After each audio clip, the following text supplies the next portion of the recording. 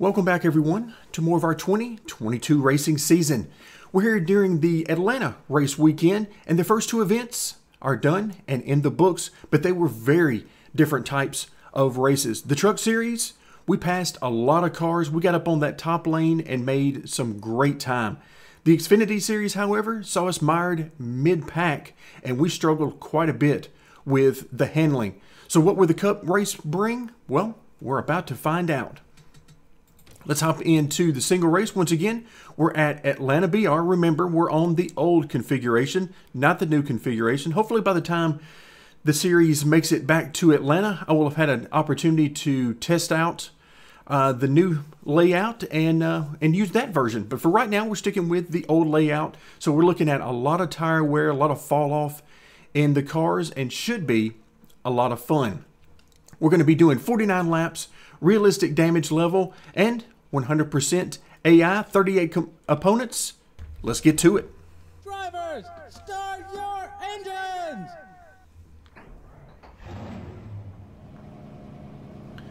All right, there you have it. Engines are fired. We're going green for 49 laps. Can't wait to see how this race turns out. The first two races of the weekend, very different. So how is this one going to go? I made some changes to the setup after what happened in yesterday's Xfinity Series race. That was very eye-opening. Not that it was terrible, it was actually quite a bit of fun to drive that car. But it opened my eyes to some changes that I want to make and see if they help out. So we'll talk a little bit more about that as the race goes on.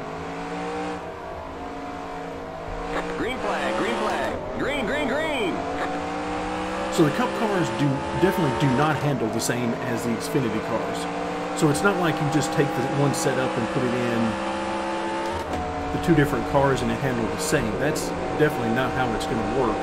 But there's always things you can learn and uh, different types of setups, different styles of setups. And so I learned some things about the back end of the car yesterday and how it behaved as the tires wore out and it revealed some things about the balance of the car that I wanted to address. And since I've been doing some of those same things here in the Cup car, then I had some ideas for changes, and we're going to try those out here today and see if they help. But anytime you're dealing with with a setup, you can make changes and it might help fix some of the issues that you've got, but then at the same time, it might also present new issues. So there's always things to learn.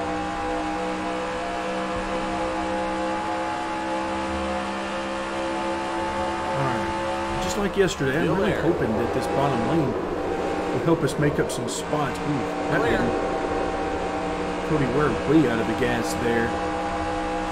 Alright, let's see. Yesterday, I didn't want anything to do with three wide. Yesterday, yesterday the car just was not stable enough to make it happen. I just didn't feel confident in the car. Today, so far so good. I'm feeling a lot more confident. The car feels more stable. Feels much more grounded and like the car is in the racetrack. Xfinity car was very much out of the track. So the changes are helping with that. That was one of the things I wanted to address. And so far so good on that front. can be much more aggressive on the throttle, and the car is responding, but not to the point where it's just getting incredibly loose and out of control. Clear outside. Car outside. Clear outside. So you can see I'm sticking to the bottom right now, simply because I just want to see what we've got down here. So far, so good. I'm liking what I'm seeing. Try to get position in 77 on entry. You can see like right there, I can really get back to the gas and power off the corner. Yesterday I was having to pedal that thing big time most of the most of the race. Clear, outside. Clear. Now tight on entry in the dirty air is something that we're always going to face, but I'm constantly trying to figure out ways to get into the quarter better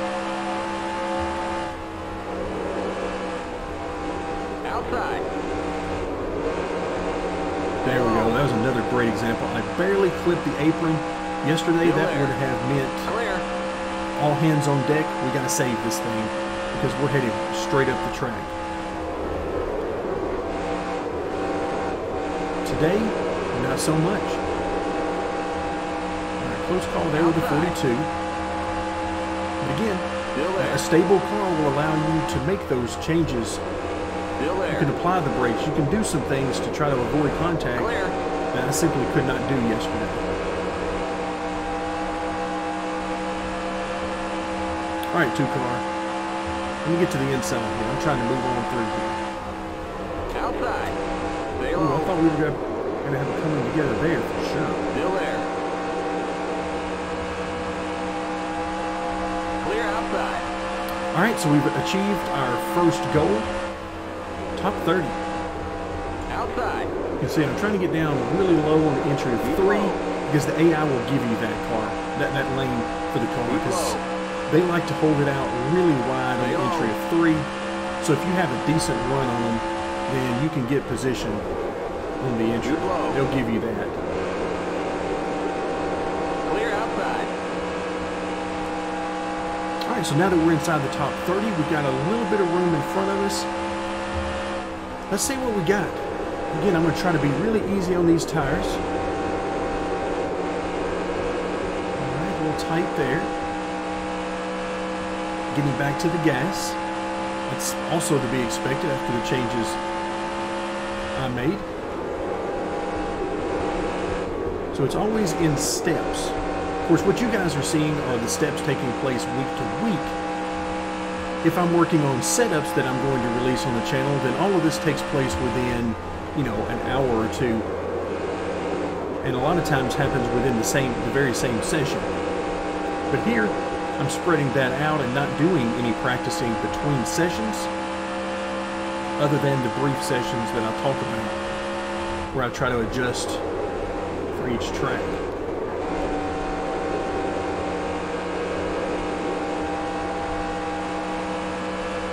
Oh, that was a very good run. You can see we got a nice run on these guys. So I'm just going to float this thing into three. No reason to rush it because we got a great position here. Keep low. Still there. Clear. Car outside. Still there. Still there. Yeah, we got great position. All right, get this thing Still turned. You're on the bottom. Three wide. Car outside. Oh, three wide. I did not realize we were going to be three low. wide. Even if it was Keep just low. briefly. I would rather err on the side of caution there. Keep low. Clear outside. Just trying to be very careful right now because if we have the speed to continue moving forward, then we'll move forward. If we don't, then there's no reason to get over aggressive right now this early in the race.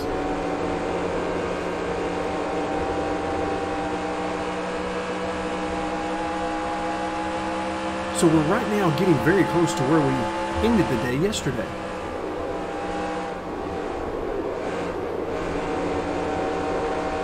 Once again with the throttle, you can hear me in the middle of the corner. What I love to do, because I love to drive the car with the throttle, love to use that gas pedal to drive the car. So I'm simply getting back to the gas to get a feel for is the car ready for me to get back in the gas. Like right there, I had to get out of it simply because I was running up so quickly on the 17. Car out, outside. You're on the bottom. Three wide. Car But I try to get back to the gas to see how the car is going to respond. Still there. If the car is really tight, wants to go straight, Stay low. when I get back to the gas, then I know I've gotten back in it too quick. Stay low. Clear outside. There we go. If I get back in the gas and the car continues to rotate and goes the direction I want, then that is a beautiful thing. That's what we're looking for. And then sometimes, like happened a lot yesterday, I would get back to the gas, the car would be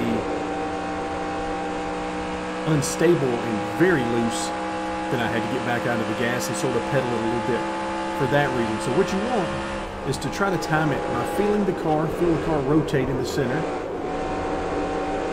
and then get back to the gas based on that. When you feel that car rotate, that's when you want to start giving it the gas.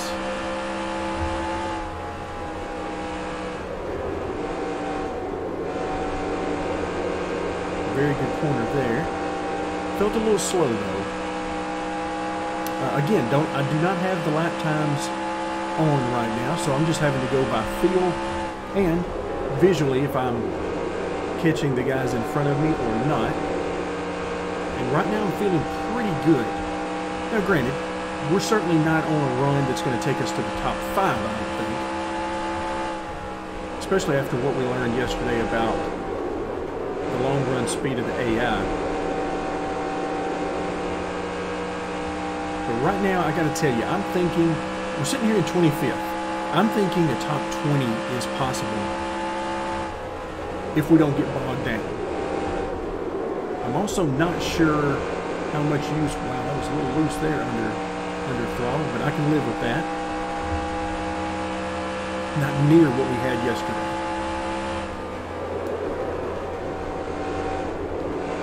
Car's starting to get really tight on entry. So I'm going to have to adjust my entry for that. Either start using a little bit of brake or just simply get out of the gas and float it in a little bit more.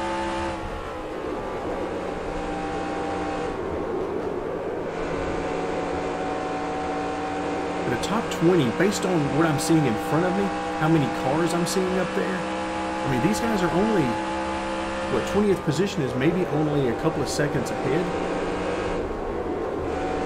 of where we are now. And I feel like that should be reachable if we've got the speed. But we got to deal with Ryan Preece first.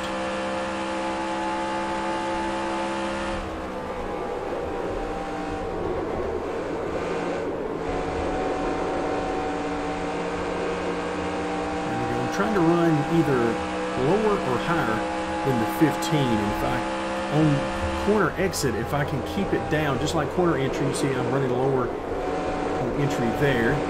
If I can keep it down lower on exit, then that also helps. Can't do it in three and four because his line is pretty much where I want to be. You can see we make up a lot of ground on him on the entry of one, and that I'm just floating it in there. All right, let's see if we've got enough to get position here on entry. Sure enough. Clear. All right, so he didn't put up a, a lot of fight there. He's having to pedal it a little bit more than we are right now. So now we'll set our sights on the next group. So now we know that 20th position is 1.1 seconds ahead of where we are. So that is not bad at all. So again, I'm just going to try to float these entries because that's where I'm struggling right now.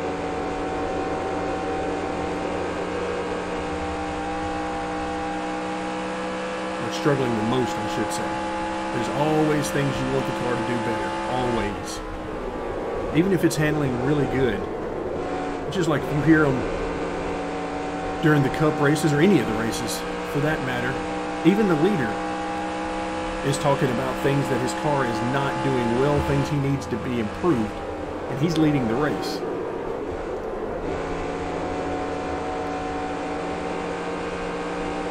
But as far as I'm concerned, that's part of your job as the driver, is to never be happy with where the car is. You always want to be pushing. Now, you always have to keep in mind, be realistic about it. You know, I mean, if you're out front and you're leading, and you're leading by, you know, several seconds, stretch it, stretching it out, all that kind of stuff, and obviously having a great day, then you don't want to lose your head about the way the car is handling. Got to be realistic about it, but always be thinking about what the car can do better. And right now, we've just simply gotten tight.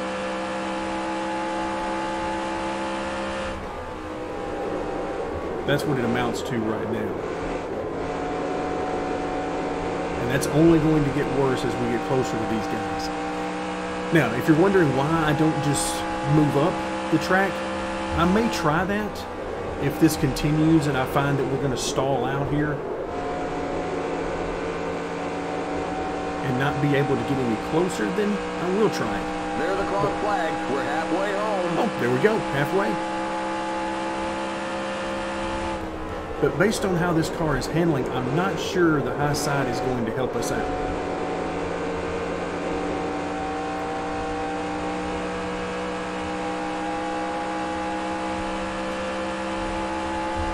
Because I'm remembering back to the truck race and what it took for our truck to be really good up, up, up top. Yikes. That is all kinds of tight. Now, we got really loose late exit there. You can see we're going to have some company from behind after that. But that wasn't loose. That was actually just push, push, push, push, push, and then it finally, the front end grab. So that's push loose.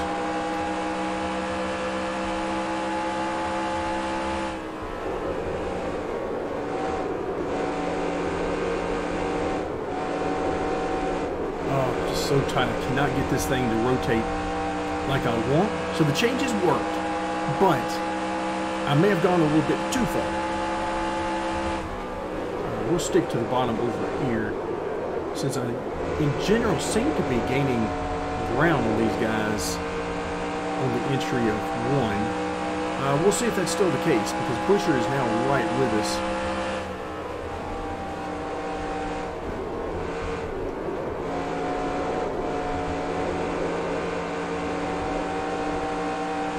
Yeah, so the changes I made went a little bit too far in the other direction. So now the car feels pretty good when I get back to the gas as far as the stability. But what I've done is actually made the car a little bit too tight on the exit.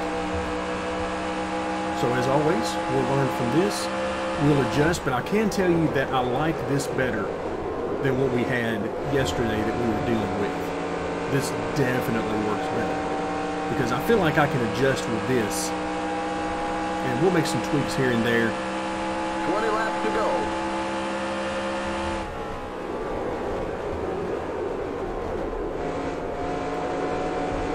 all right let's try this second groove a little bit here.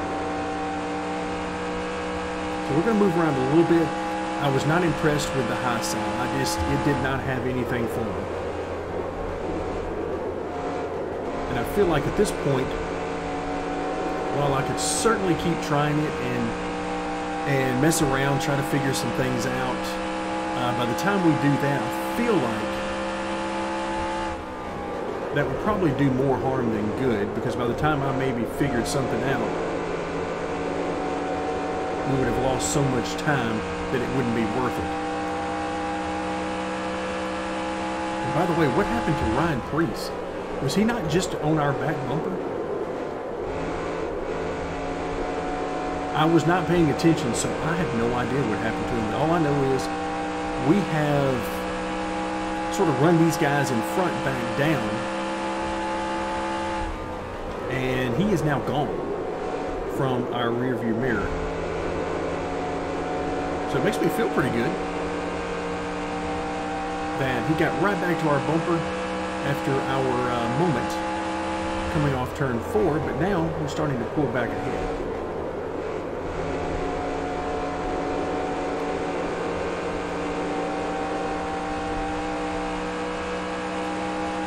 All right, so now we're essentially there. We've caught these guys in front.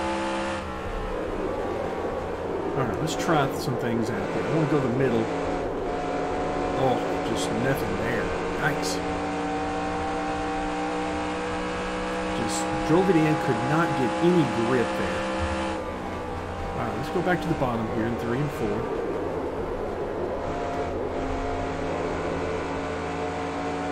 But you can see these guys are pulling me off the corner.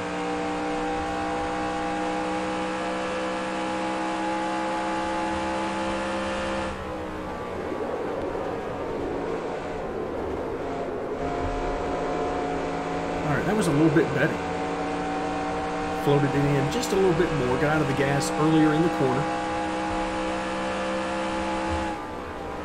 So let's just keep trying that because we're definitely gaining quite a bit on entry, even though I'm floating it in. Just got to figure out this corner exit situation now.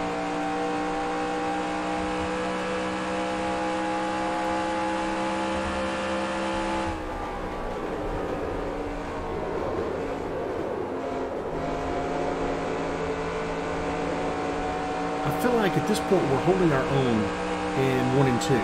We're making a lot up um, on entry. We sort of give some of that back on exit. Car outside. Still there. Clear. Oh, can I hold it? Car outside. Keep low. Ooh, that was tough. Trying to stay in the gas and keep it under him. Just could not get the front to rotate Keep the way. I needed to. So Clear all right, outside. we cleared him. Can we hold it? Because that was a terrible entry that we had. Terrible angle into the corner. All right, so far, Clear. so good.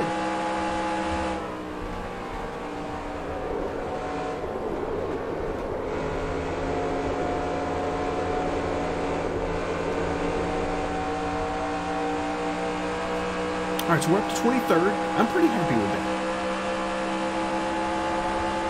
I felt like if we could make it to the top 25, that would be, based on what we had yesterday, then I would consider that to be pretty good based on the speed because I figured the, the Cup cars are still going to be pretty fast. And I did not want to take away any grip from them. Ooh, that was a good middle of the corner. Let's see if we can do anything here with Suarez on entry. I feel like we Outside. should. Since we do Clear. get into the corners better. All right, so we'll let it slide up the track. I don't mind that given our angle.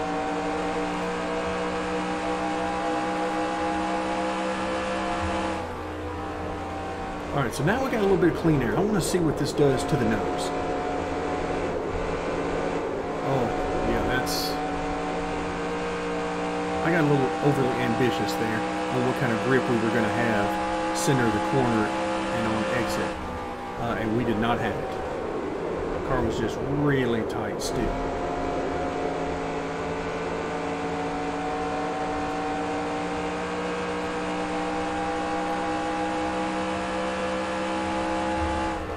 So now what I'm going to try to figure out is mechanically what do we have versus what is the aero causing? Since we got a little bit of clean air right here. We got just 10 more to go. Alright, we don't have very long to figure it out either.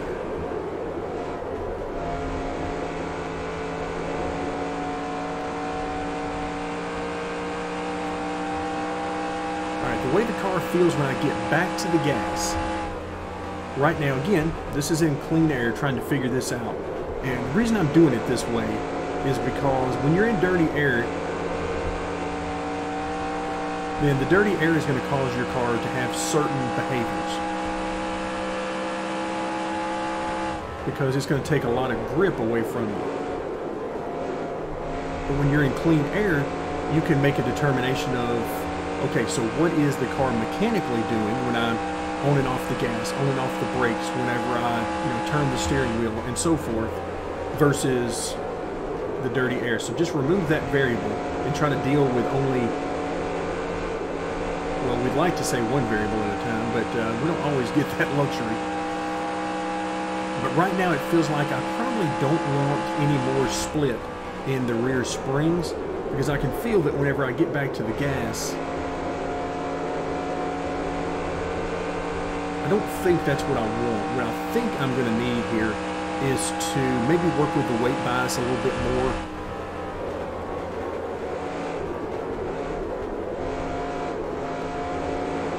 maybe try to uh, work with the, the track bar some, which of course there's no longer a track bar in these cars, but because I'm still using the, the cup physics, then we do have that track bar.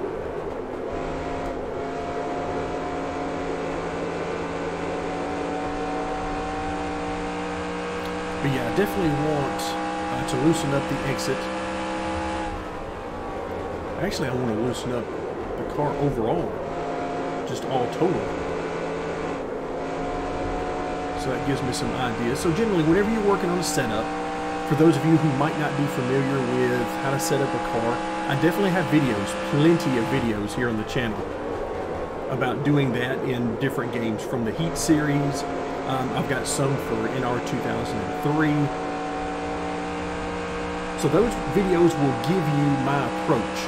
And, and I give you a lot to work with in those videos. But what you want to be thinking in your head as you're practicing or during a race, as I am now, is you want to be thinking of what is the car doing? Is it tight overall? Is it just tight on entry, just tight on exit? Or five more to go. you know, loose in those situations, whatever the car might be doing, there are certain adjustments that you can make to the car that will affect the car more in an overall sense. And then there are certain things that you can do to the car that will affect the car more either under power or under braking and, and so forth. So you want to be thinking about those things and what you think might be your best opportunity uh, to make some adjustments. And that's what I'm doing right now.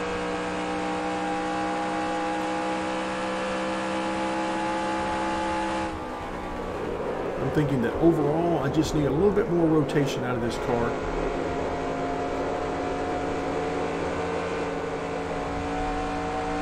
All right, so again, the car's not terrible. It's just too tight for me to continue making up spots. But you can see, I mean, we're running down these guys in front of us. We're just going to run out of time. And the car is definitely too tight. If we just had a balanced car, that's what I'm that's what I'm thinking about right here. Where we are right now in the handling of the car versus what would happen if we had a car that was balanced. But you can hear me having to go in and out of the gas pedal on, on corner exit, just trying to figure it out. When can I get to the gas and stay there? Because right now the gas is the car's wanting to push out toward the wall on exit. Just two to go. All right, just two to go as we see the white flag in the bottom left-hand corner there.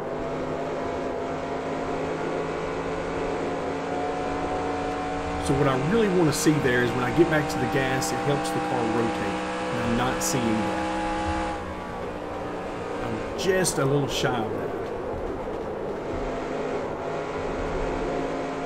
So if you haven't had an opportunity to watch yesterday's race, then this is a great opportunity to look at the difference. White flag. One more lap to go. because in today's race on corner exit we're just simply too tight i get back to the gas the car wants to push out toward the wall on exit yesterday it was the exact opposite i was getting back in the gas and the car wanted to spin out or get really loose on exit